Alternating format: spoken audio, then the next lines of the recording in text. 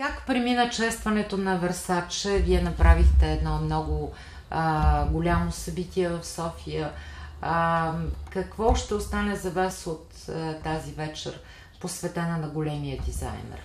Замисъла на вечерта, който признавам се е мой, беше да се отдаде почет на делото и на естетическото наследство на един от най-гениалните модни творци, Джани Версаче, загинал трагично преди 20 години.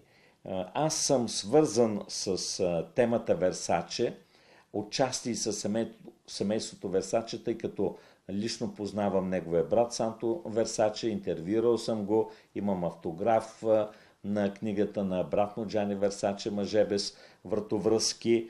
И моята идея беше да събера ценители, в това число журналисти, известни личности, знаменитости, които имат отношение към тази стилистика, към тази естетика, към тази култура. Опитах се в моята мултимедийна лекция да разкрия някои от най-важните етапи в творческото развитие на Джани Версаче.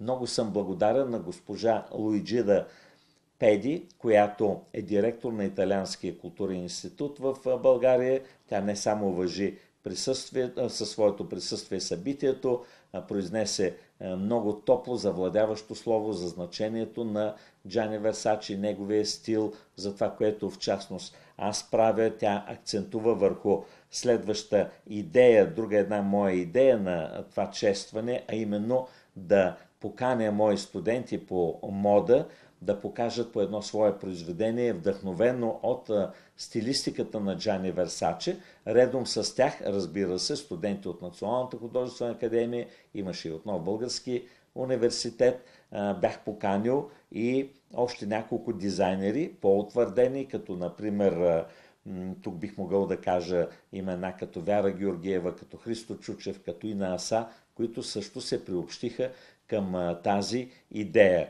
Това, което също направи много силно впечатление, беше и индивидуалният прочит на темата на известния наш скулптор Ставри Калинов, който интерпретира фотографии на Джани Версаче, негови портретни фотографии, със своята уникална технология вакуумирано стъкло. Получи се, според мен, едно много вълнуващо събитие, непосредствено, естествено, семпло в някаква степен, защото липсваше обичайния лукс, блясък за такива събития, но аз мисля, че към хората на изкуството мода ние трябва да се отнасяме точно така, да припомняме с какво те са оставили своя траен отпечатък в световната визуална култура. В случая с Джани Версаче – първо, вниманието, което той обърна към цветовете, начина по който той лансира така наречения необарок, частност в модата и като цяло в новото изкуство. Също така много интересното вдъхновение и интерпретация от произведения на Васили Кандински, на Анди Уорхол, на Вазарели, както разбира се и с любимите му етапи в историята на изкуството и цивилизацията, древногръцкия и древноримския период. Естествено, не трябва да забравяме една огромна негова изключителна заслуга – разкрепостяването. Той даде свобода на световната мода.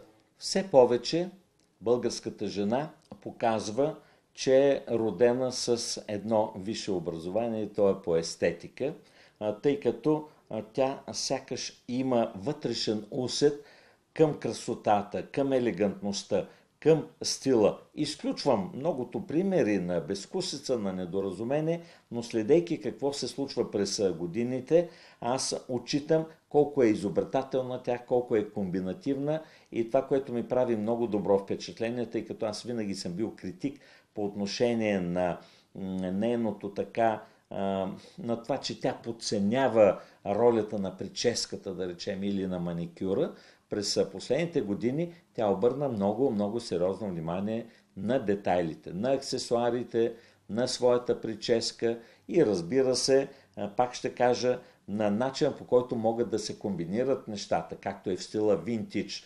старото, скъпо старо и авангардното ново.